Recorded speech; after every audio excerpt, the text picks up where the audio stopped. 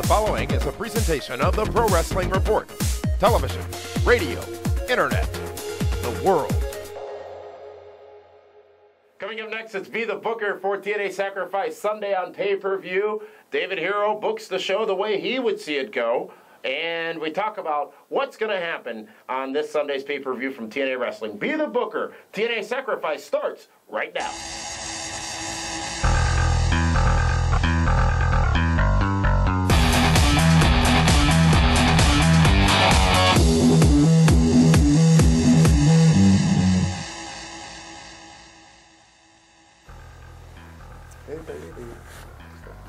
Welcome, ladies and gentlemen, to Be the Booker for TNA Sacrifice this Sunday on pay per view, coming from Orlando, Florida, from TNA Wrestling, obviously.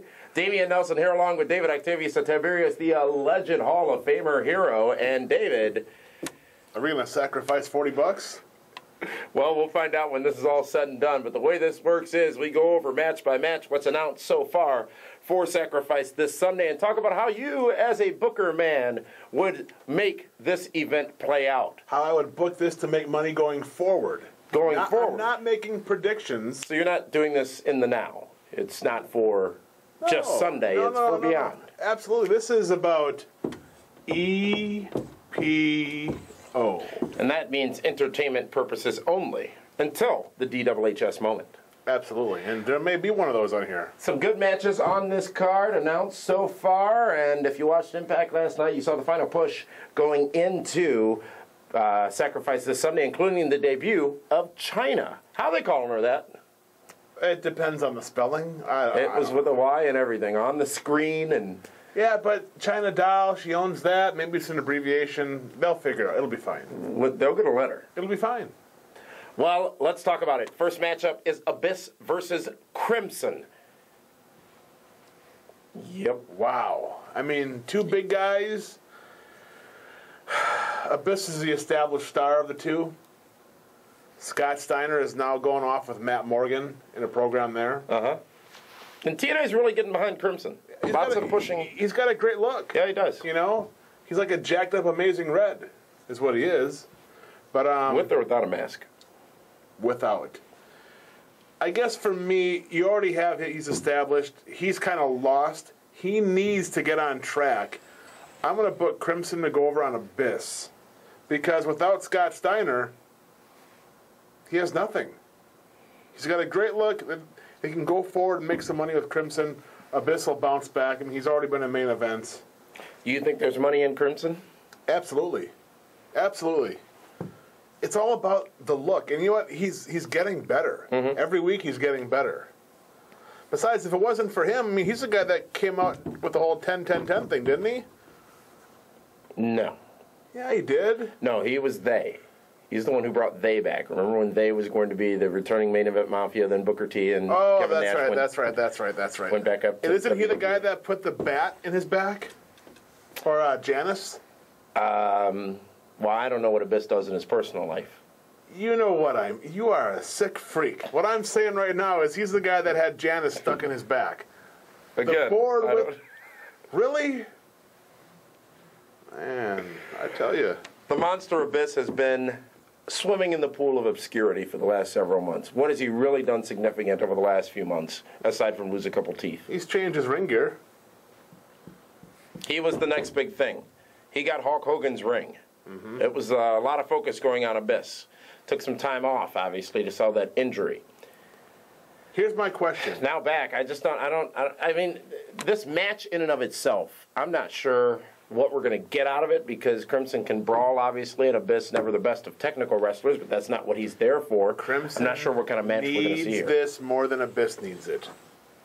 That's what I'm getting at. Okay. All right. Mexican America will take on Ink Inc. Two tag teams that have really shined in TNA as of late. Hernandez obviously at the forefront of Mexican America. I like where that whole story is going with them. I think it puts Hernandez in a role where he can be more prominently featured in TNA wrestling. But what are we going to see from Shannon Moore and Jesse Neal going up against this very, very interesting faction of Mexican America. Ink Inc has they've come a, a, a long way. The fans are very behind Ink Inc. as well. Honestly, when they first put the, these two guys together, I'm like, ugh, brutal. I remember sitting in this very studio and uh, saying what their name was, and you found that to be quite hilarious. Yeah, it was. It was stupid, but now it makes sense. I mean, I get it.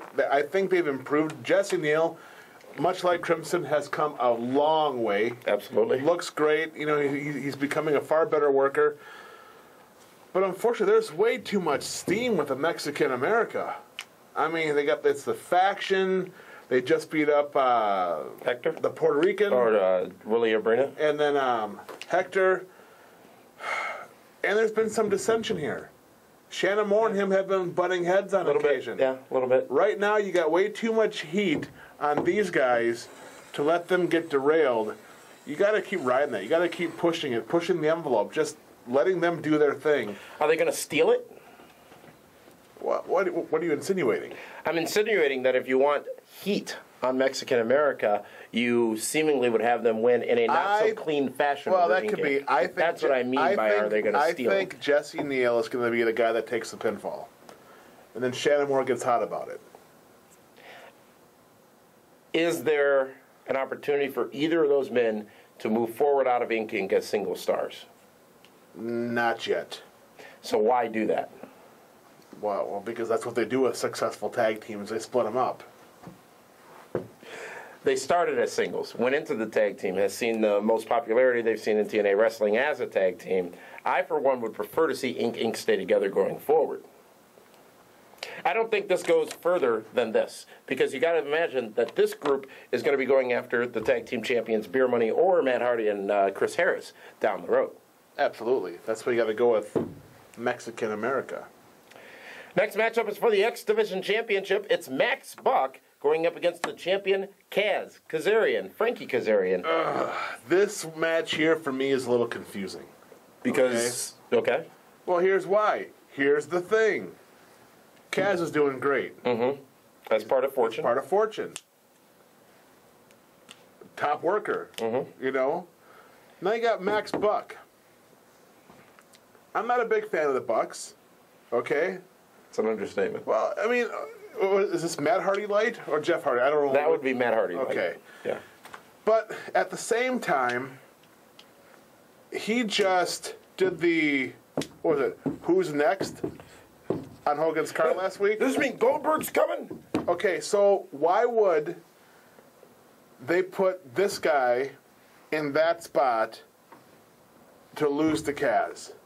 Now it just proves Bischoff's point that they're meaningless, right? So that The Bucks are tremendously talented, David Hero. I, I'm just quoting Eric Bischoff. So that tells me that Max Buck should leave the X Division champion Really? with Jeff Buck or Jeff Jr. and um, Kendrick and uh, Sangrita, whatever. Red Sangrita. Well, What a drink. yeah, yeah it's, a, it's a short glass of water. On, it's on impact every week. But I think that they have to put the belt on Max Buck. Really? Otherwise, it defeats the purpose. So they can say, hey, look, we got a title. You know what? You told us to grow six inches. Now we got, you know, 40 inches of gold. You've got Kaz, the X Division champion, tag team champions, Beer Money, AJ Styles, all part of fortune. Right. That gold helps that group. But how much has it helped him? I think it's helped him a lot. I think Kaz is a lot more. Kaz had taken. I don't think he needs it. If the question is who needs it more, Max or Kaz, probably Max. I just don't. You're forgetting one thing. There's one thing that Kaz has that nobody has, and that's Traci Brooks. Okay? Mm-hmm. He doesn't need a belt. He already has one of the hottest chicks on the planet. Max Buck will leave. I, I'm very close to almost DWHing this right now. Really? That close. Really? Yeah. Max Buck needs this more than Kaz right now. But here, but this is the thing. But it's gonna. All these guys have to get involved. They got to be their own little faction, and that's how he beats Kaz. He can't beat Kaz one on one. There's no way. there's going to be outside interference. The tag team championships on the line as Beer Money defends their belts against Matt Hardy and the returning Chris Harris. Chris Harris looks to be in great shape. We saw him in Cincinnati Mm-hmm. Yeah. at lockdown, and I was kind of surprised he's there, but he is dating SoCal Val, Right. so it made perfect sense. But um, What is this, TMZ? Going to be sharing his business out there. everyone knows. Come on, Oh. Sorry. don't you follow her on Twitter? She talks about him all the time.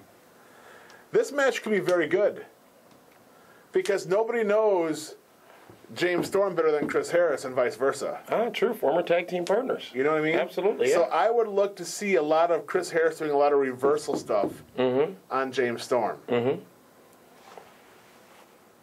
Why do you bring Chris Harris back to lose? Wow. New tag team champions? Bro, that's minus 25 points for you. I'm not saying they'll be new tag team champions. I'm just saying they're, they're going to win. It could be by DQ or by countout or something. Did Newt Gin- Gingrich call you? No, of course not. My number's unlisted and unpublished. Can't get me. Well, I thought you all were part of this, you know, like this, this, this What is this? society or something. Society? Hardy and Harris, really? I don't understand that. You're saying Fortune loses all their titles Sunday No, no, night no, no, no. I didn't say they're going to lose the title. Well, how are they going to win? Counter or disqualification. Keeps it going. Get Keeps another it pay per view out of Yes, absolutely. This is not just a one one and done. This could be very smart because, as you said, Harris obviously knows James Storm. They can play that story and that angle up. Mm-hmm. And, uh, you know, this is a bit of a wild card. No one expected Harris to return. Beer Money may not be able to properly prepare for this tag team of Hardy and Harris. Matt Hardy, a tag team specialist, if you will, knows tag team wrestling, but arguably the best tag team in the business today are these guys, Beer Money Incorporated. You got to think that they should be able to thwart the challenge of Hardy and Harris. Yeah, but H squared. maybe at the next pay per view. You don't bring this guy in for one and done and do the job and leave. I understand, but this is my booking. I'm booking this pay per view, right? This is how I would do it. All right. Next, Knockouts championship on the line with some other random stipulation that I care not to talk about. Mickie James defends the no, championship. no, no. Let's talk about it. If Mickie James wins, Tara is free to work for whoever she wants in TNA. She's not under Madison Rayne's thumb. So that tells me one thing. Madison Rayne wins. You know why? Because it's sacrifice, and Tara's going to sacrifice herself for the betterment of Madison Rayne. It's going to be the swerve of uh, the knockout division. New champion? Absolutely. Wow. All right. Madison Rayne is the best diva knockout going today. Better than Velvet Sky? Absolutely. On par with Velvet Sky. Velvet Sky's been Velvet Sky is not the wrestler that Madison Rayne is. true. Very true. Very true. And Madison Rayne is far more creative with her promos mm-hmm. than just the Valley Girl Velvet Sky. Yeah. I mean, Velvet Sky is great to look at. Don't get me wrong, but the total package is Madison Rayne. Jeff and Karen Jarrett, the husband and wife team, will take on Kurt Angle and his mistress China Doll, Chyna, in a tag team matchup. David Hero, 15 points on the board for both of us in the PWR Fantasy Draft. Here, who will win this matchup, or who would you see or show winning this? I believe last month you thought that it was going to be Angle's night. It turned out to be Jarrett's night. Tricky match. Angle doesn't have a win in this series, as far as I can recall. Well, he did because now Jeff has Karen, so it's costing him less money. That's a win. Um, this is a tough one to go because the obvious choice is Kurt and Chyna, right? Well, you're using your Harris philosophy. But this is different because why bring in Chyna to squash Karen, who is like the Vickie Guerrero of TNA? Yeah. And can't wrestle. Chyna could wrestle, obviously, but how long has it been since Chyna's been in a ring? At least seven years. you think she's going to be. Karen Jarrett, as much as I love Madison, put way, if Karen Jarrett could wrestle, she'd be the best diva knockout ever of all time because she's that good at what she does. Mm-hmm. Yeah. which tells me what would get the crowd more upset than having Karen defeat Chyna? Chyna hasn't even signed a contract yet. She's just there. You've not picked a, picked a single face to win.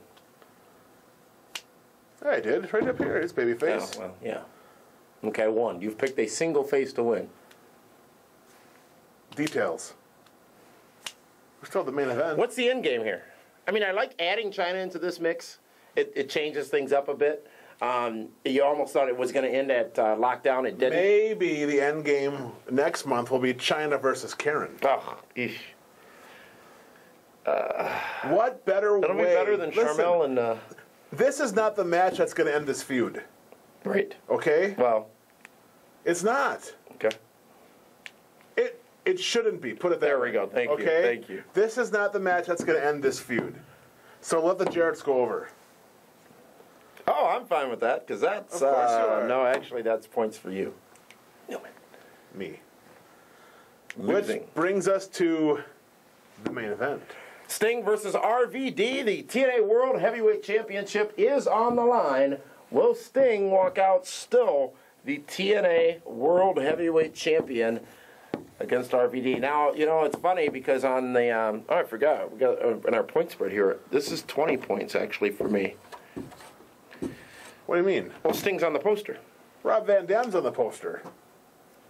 Are you crazy? You didn't see that? No, look at it right now. It's, on the screen. It's Rob's That's Sting. face, and then Rob gets creative and he paints half his face like Sting. No. Yeah, you- it's you're- RVD. you- Have you been drinking? It's No, Sting. bro, it's RVD. It's it's his face half painted, so he's making fun of Sting. Five points. Whatever, it doesn't make a difference. You know why? Because your guy's gonna get the win. Touching. Sting is gonna defeat RVD. Really? Yeah. It's pretty much a given, isn't it? Yeah, you'd think so. Because the money match is going to be Sting versus Anderson. No, we, Mm-hmm. Absolutely. we've already seen this match, and that wasn't very good. Right. Sting and Anderson. And that's where I'm going to get some points. Well, all right. Well, you'll need them because you're already at a 65 point deficit. You know what? It's not a sprint. Okay? I'm not worried. I still have all the studs. You got Cody Rhodes. So how about that? We got two babies, and the rest are all heels. TNA Sacrifice is Sunday the way David Hero would see it, and we're waiting I- for you know that what? moment, You by know the what? way. If this is how it goes, it's well worth the forty bucks. Abyss versus Crimson. Crimson takes the victory in that matchup. Mexican America defeating Ink Inc. New TNA X Division champion and Max Buck defeating Kaz. Beer Money losing, but maybe not losing the tag team championships to Matt Hardy and Chris Harris. Mickie James losing the Knockouts title to Madison Rayne. The Jarretts get another win over Kurt Angle and his new partner and mistress, Chyna. And the TNA World Heavyweight Champion Sting retains against RVD. And David Hero, there are four letters missing on this board. I will give you this pin to indicate which match will be the DWHS match of the night. You are guaranteeing Sting will retain his title Absolutely. over RVD. Absolutely. And that pains me because that's taking points away from myself. Tee hee. We gotta laugh? That's not funny. Winning is funny. Winning is fun. Winning is fundamental. I'm fun, and you're demental. Sunday after TNA Sacrifice, we'll be live on Blog Talk Radio with the post show. Discussion about what happened on the pay per view, along with your phone calls, your comments. So be sure to join us on Blog Talk Radio, our site, uh, blogtalkradio.com slash PWR. Also, David Harrell, we returned to ESPN Radio this past Wednesday night uh, for some interesting discussion on the building or the rebuilding of WWE and what they need to be doing, along with a lot of great comments from all of you out there in the fandom. Well, there are some great comments. Not all of them were great. But uh, we're going to be back on uh, 540 ESPN again Monday night. Monday night uh, with more discussion on wrestling and all that goes with it. And be sure to check our schedule at uh, pwrshow.com. Find out when the shows are going to be broadcasting on a regular basis. David Hero Sacrifice looks like it could be an interesting card. The match I would say I'm looking most forward to of all these would have to be. You know, I think this match is going to be good. Mexican America versus Ink Inc. I think the tag match the, with uh, the both tag matches actually, the other tag match being Beer Money versus Hardy and Harris, and then the Jarrett Angle Chyna. I'm intrigued to see Chyna get back into I the want ring. to see what Karen's going to wear to the ring. Sunday night TNA Sacrifice, followed by the post show for David Octavius and Tiberius Hero. This is David Nelson saying thank you for tuning in.